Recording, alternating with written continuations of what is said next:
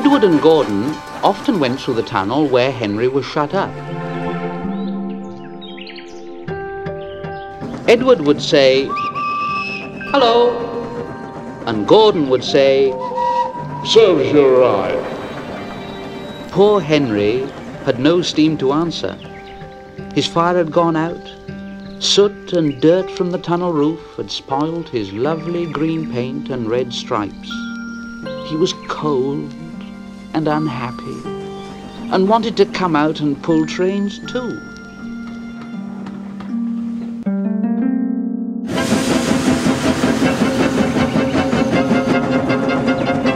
Gordon always pulled the express. He was proud of being the only engine strong enough to do it. There were many heavy coaches full of important people like the fat director who punished Henry. Gordon was seeing how fast he could go. And the coaches went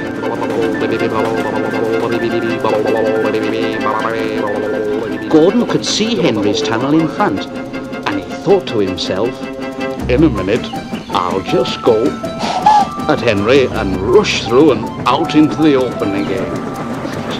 Closer and closer he came. He was almost there when Oh dear!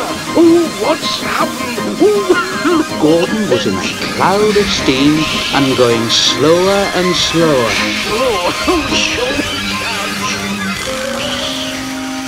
His driver stopped the train. Oh, what has happened to me? Oh, oh, I feel so weak. You burst your safety valve.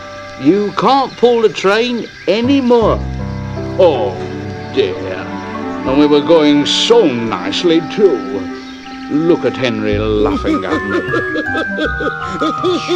Stop him.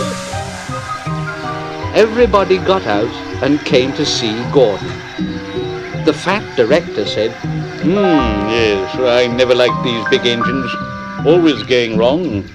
Send for another engine at once. While the guard went to find one, they uncoupled Gordon and ran him onto a siding out of the way. The only engine left in the shed was Edward. Um, Edward, Gordon isn't feeling very well. Will you come and pull his coaches for him? Well, I'll try. Gordon saw Edward coming. Oh, he's no use. Edward can't pull a train. Edward puffed and pulled and pulled and puffed, but he couldn't move the heavy coaches. I told you so. Why not let Henry try? Hmm? All right, I will. Um, Henry, uh, will you help pull this train? And Henry was delighted. Oh, yes, uh, certainly. Uh, only too pleased. So Gordon's driver and fireman lit his fire. Some plate layers broke down the wall and put back the rails. And when he had steam up, Henry puffed out. He was dirty. His boiler was black and he was covered with cobwebs. I'm so stiff. I'm so stiff. You'd better have a run and ease your joints and find a turntable. Henry came back feeling much better. And they put him in front. I'm ready. So am I. Pull hard. Pull hard. We'll do it. We'll do it. Pull hard.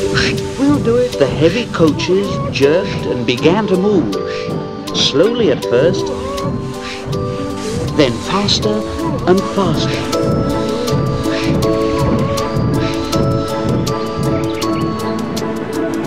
We've done it together. We've done it together. We've, done, it together. We've done it together. Hooray, you've done it. Hooray, done it. Hooray, you've done it. Hooray.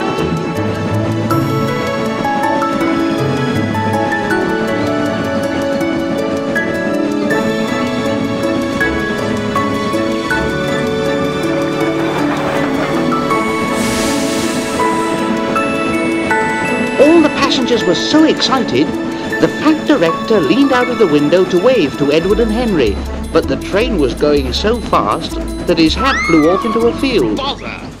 Where a it for his tea. They never stopped till they came to the big station at the end of the line.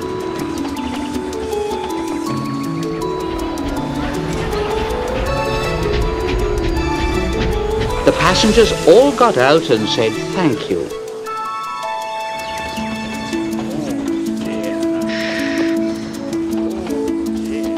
And the fat director promised Henry a new coat of paint. Would you like blue and red? Hmm? Oh, yes, please. Then I'll be like Edward and Gordon.